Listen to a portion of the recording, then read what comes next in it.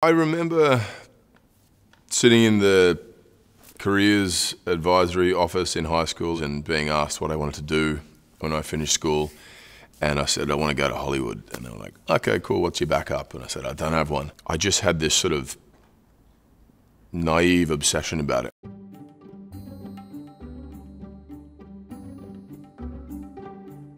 Hello, I'm Chris Hemsworth, and this is the timeline of my career.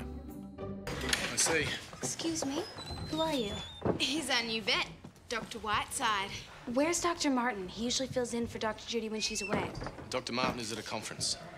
Excuse me. The first thing I did was called the Saddle Club, and it was a, a, a TV show about a community of, of horse riding young kids. And I came in as a vet because uh, there was a horse with an injury. And I must have been 18, 19, so I don't know how I was a qualified vet at that point, but uh, you know, creative license and all that. And I came in and I was so terrified. And you can see, you can hear my voice is kind of way up here. Everything's tense and I'm, I'm flushed red. And I just remembered like that was an out of body experience, that whole shoot, because I was just terrified. It's the first time I had to speak on camera. What happened? Val's sick and has just collapsed from exhaustion. Look, I stand by my opinion, okay? There's nothing wrong with this horse. And I remember going home and saying to my mum, that's it, my career's over. She said, you don't really have a career to have finished yet. What are you talking about? And I said, my future career, the one I've imagined, is, is not going to happen because I, I remember telling my mum, I said, the show gets shown in Canada and Canada's close to America, which is Hollywood, so they're going to see it, right? Like, forget, you know, the internet and all that. it was somehow going to cross the border. And when I go to Hollywood, LA to do an audition, they're going to have seen that, that show, and they're not going to employ me based on that performance. Man, what a, you know, what an outrageous, vivid, um, you know, imagination. Did a great job with Val. Well, now that the splinter has been removed and the area is clean and dressed, everything's set to heal. Thanks, Dr. George. All decks, this is the captain speaking. Evacuate the ship immediately. Now. Get your designated shuttle shuttlecraft. Repeat evacuate. George's voice. What's happening? I got called into J.J. Abrams' office, and um, there was no information about what it was for. I knew it was for Star Trek, but I didn't know what character or anything, and it was basically based on an audition I had had for the lead role, that, who Chris Pine had played 12 months prior. And um, I don't know how they'd sifted through it and thought, oh, he looks a bit similar, let's get him in. So I came in, he handed me the script, and I just read through the scene, that initial scene, and um, it did something right. I don't know.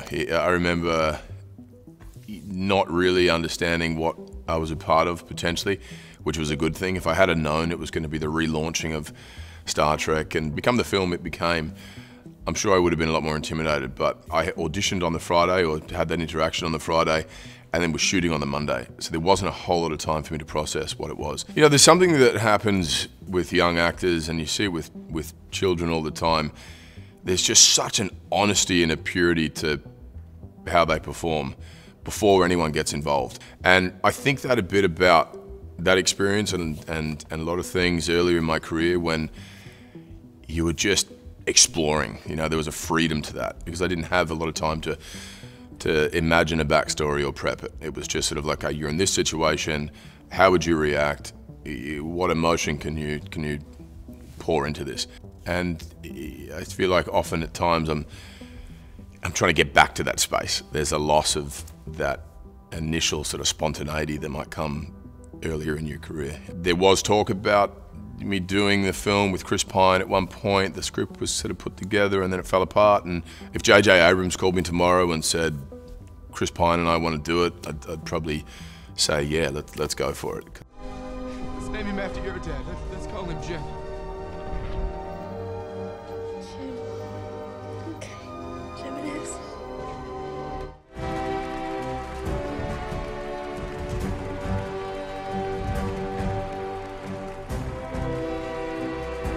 I'd shot Star Trek, and then I had about eight or nine months where I couldn't get a job. Um, and then the film came out, and it gave me some momentum. And I had auditioned for Thor a few times, didn't get a call back. I then had the opportunity to have another call back, Star Trek had come out, Kenneth Branagh had seen it. I do think it, it helped in many, many ways, and I think J.J. Abrams and Kenneth had a conversation. The initial audition I sent, or the, or the tape, was with my mum and I, and my mum was reading as Anthony Hopkins. So I don't know, maybe it was her read that somehow influenced the, or swayed the vote there. It's unwise to be in my company right now, brother. This was to be my day of triumph. It'll come. This was like a three day period where we both got flown out just outside of London. This beautiful farm, homestead environment. You know, we were all in Kenneth Branagh's pool and having a swim and talking, and Tom and I were chatting, just going, wow, I think this is going to be pretty special. And there, he and I were two young actors going, wow, this is it. This could be our, our big shot. This could be our big moment. Yeah, it was really, it did. That, and that's what it was. That's where it launched both of our careers. And I think back to that moment and that time period a lot, just about the, the uncertainty, the unknown, the possibilities, all of it was so fresh and exciting and, and, and, and wonderful. It, one of the most vivid memories I have of realizing, wow, I think this is going to work, was at Comic Con. And there were two or 3,000 people in the room, and they played the teaser trailer. And at the end of it, the crowd erupted and everyone screaming and cheering and so on. And, and I really, at that moment, went, oh, wow, I think this is going to work. You know, there, there was so much effort and hard work and and anxiety about what we're doing and are the fans going to be happy? Are people going to see it? Are people going to want to see this film? To get that response and that immediate response from an audience, which, um, you know, being in front of the camera with the crew, you don't, you don't get that. You know, if you do theatre or you're playing in a stadium or whatever, you feel that. You know, we hadn't experienced that yet. Are these your chambers? Uh, it's more of a temporary living situation. Oh, I'm sorry. I don't usually have guests. Actually, um, I never have guests. hey, what is that? What? In the lake, right there. Oh, come on. Oh, guys, I'm serious, right there. There, there. God, looks just like my girlfriend. What? I remember understanding what the archetype of the character was. He was he was the jock essentially, and I thought, okay, cool. I know what that looks like. I know how to inhabit that space. And then there were, I think, some improvisation there done, but also we had a script, and it was more about taking direction from Drew Goddard. And I think he wanted to see, can I ask you to do X, Y, Z? Can you follow those instructions? Da da da. And are you collaborative and whatever? And I just hit it off with him in the room, and we, we had a great discussion about the character, about why this individual may be this way, what's his experiences, etc. And we tried the scene in a number of different ways, and just an incredible storyteller. One of my favourite writers at the time. Just you could see the creativity pouring out of him, the excitement he has about the world, the excitement he had about, the, you know, the, the, this character and, and the places we were going to explore. The enthusiasm I remember very vividly it struck me about him, and I thought this guy is going to be a lot of fun, and he certainly knows where his sort of creative compass is pointing. I'm coming back with cops and choppers and large fucking guns, and those things are gonna pay for Jules.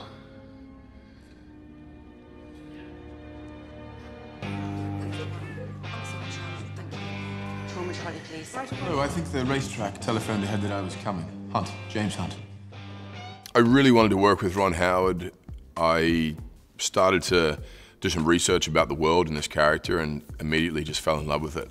I think Ron Howard's first response was, oh, the guy from Thor. You know, he's not, he's, he's not right. And, um, which was understandable because I was, you know, 220 pounds in that film, and then for a race car driver, I needed to be probably 185 pounds. By the time I had done this tape, I had lost a bit of weight, but knew I could lose more. I think he said something about the accent and um, the charisma and the cheekiness came through. Uh, and then that was kind of the, the, the, guiding light for the character for me. There was a sort of a youthfulness to him, which, um, which I had to sort of tap into and, and, and stick with. It's great because it's about the un unpredictable nature. I think that's the most exciting stuff to watch on screen. It's often the most exciting characteristics that someone can have in real life where you interact with. You know, it's exciting to watch. You don't know what they're going to do next. There's something very spontaneous and fun about that. And that, yeah, I guess that's what I meant by not being able to pin him down in one sentence because he was many different things on many different days. And that, again, just allowed us to have a very rich, layered character that wasn't two dimensional or expected. What are you talking about? You did it! Did what? you crazy bastard! You came third! You got the points! You're champion of the world! James Hunt! As first mate? Mm-hmm. Mr. Mason, you, you promised me command of a ship after my last voyage when I brought you back 1,500 barrels. Do you remember? You gave me your word. I think because Rush was something I was so proud of and he'd been able to pull out a performance of me that I hadn't done elsewhere. I wanted that opportunity again because of the collaboration and when I handed in the script and his response was, wow, I love it, I'd love to do it, obviously, and off we went. If someone of his level and talent and experience sees something in it, then, then let's go for it. And again, very different world, very different character than I'd inhabited before. You know, that's what it's about. It's about kind of pushing yourself in different directions, taking risks, uh, not repeating the same thing over and over, and this was, you know, a vehicle for that. I think that the, the real kind of final ingredient that was right between action and cut or right before action is Ron will throw me an idea or ask a question of me and I don't have to answer it right there. I'll just roll camera and I allow that to come to the surface of the, you know, the interpretation of the character. Um, and that's all great directors. They, they ask questions of you to force you to think deeper and look at it in a different way, as opposed to saying, this is the answer, this is what it is. Because then you're kind of puppeteering to an extent, or you're, um, you're trying to hit someone else's target, as opposed to it being a truthful expression of your own experience. It's clear that full disclosure will have ramifications, terrible ramifications for the whole industry that a whale brought down the Essex. But it's the truth. Hey!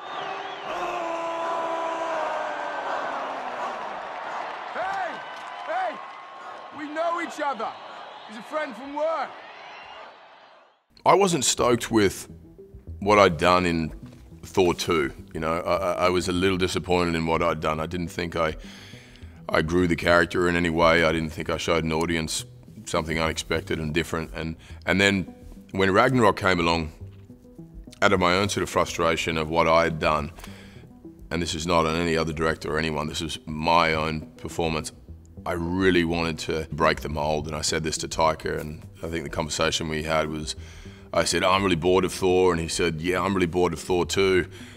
and then we decided not to be bored, and any time that, that, that, that, that feeling came into play, we'd go in a different direction. And so we just dismantled the character. We wanted to have him be a little more unpredictable. We wanted him to um, to be in a different set of circumstances than he'd been in before, and also have the humour come through. You know, there was I had a great relationship with Taika, and we had a great sense of humour and banter with us, and, and I thought let's let's make sure we cram that into this space. And the character he played of Korg then was there, so it was kind of a lot of it was him and I improvising, and him and I as our most truthful version of ourselves. Allow me to introduce myself. My name is Korg. I'm kind of like the leader in here. I'm made of rocks, as you can see, but don't let that intimidate you. You don't need to be afraid unless you're made of scissors. Sometimes it doesn't work.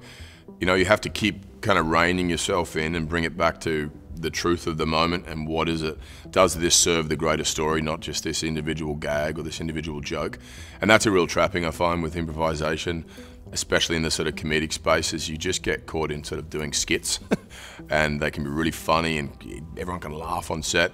And then you watch it in its entirety with, with, with the film and you go, oh, it's, it's funny, but what, what, what are we saying? What's the purpose? What, what emotion is it driving ultimately? It, you have to take risks. You don't know that as you're doing it. And, and some of it works, some of it doesn't. But I find it incredibly freeing. I find um, you're able to sort of shake out all the creases and and it just becomes a lot more fluid then when there's a, a, back and forth between you, especially when it works, you know, when you and other actors are in, in sync and there is a sort of beautiful sort of bat and ball game occurring, you know. I just love playing the character. I love the journey I've been on with him, not only as Thor, but just my life. The sort of two have been side by side for 10, 11 years now and, and, uh, and have both crossed over into each other's world from time to time.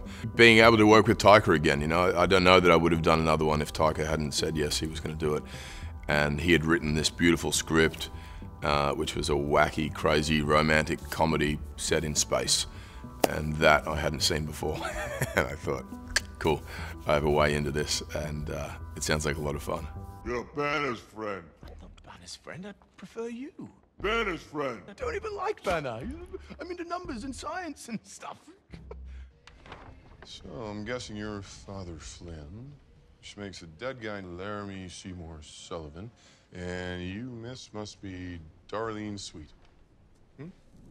That was a really interesting one. I think I said yes to that before I'd even read the script based on my relationship to Drew Goddard and my love of his storytelling. There was a lot of sort of danger and un- unpredictable nature to the character, but a very twisted individual too. And trying to dissect that and understand, well, okay, how does he get to this place? What is, what are the experiences that have come before? And what is it that he's trying to achieve? What is it based on? And then so much of that guy was ego. Everything was sort of sexualized and everything was about control and dominance and, and very sort of awful sort of traits. Amazing script and dialogue that we were able to use and chew into and, and you know, everything he was doing was about intimidation and he's trying to dissect information, but it's very manipulative and it was kind of fun, you know. I'd like to think I, I speak for everyone, you know, on the set. We were kind of laughing in between takes, going, this guy is a narcissistic creep. It was just, you know, this is what's fun about playing characters. You, you get to dress up as an individual and, and do some strange and odd things which don't hold sort of consequence, you know. And, and, he was sick and twisted and so on, but there wasn't anything that went too far into the realm of something that I might have carried home with me. I think the energy of the character I would carry a bit with me. There, there was a sort of frenetic, sort of um, unsettling vibe to him, which I definitely would have to shake out at the end of a day. And even when, you know, running the lines and rehearsing, it was like, oh, there's a real twisted sort of tension here, which is which was um, interesting to tap into. I was shooting in Vancouver, and my wife was back in Australia, so she didn't have to look at me too often, which was probably a good thing. really? Where's a where's a girl like you get all this kind of money from, huh? I earned it. Singing. Yeah, she seems nice. You like that word, but no, I mean, how attractive is she? What, Steve? You can't see for yourself? Heather, can you shut up, please? I'm asking Jeff. Jeff, how's she looking? Scale of 1 to 10. The appeal was something I hadn't done before, a world I hadn't been a part of. And this script was new and fresh and unique. And I saw a way into the individual that um, I don't think initially was on the page. I, I, I saw something else there. I saw a very manipulative charisma that he would use to his advantage to um, move the pieces of the puzzle on the chessboard to achieve whatever he wanted to achieve. And he was sort of a mastermind of that. Highly intelligent, but inability to really feel empathy, I think, but also enough intelligence to understand he might be missing that component in his emotional makeup. And that was really fun to play with because it made for a very dangerous character.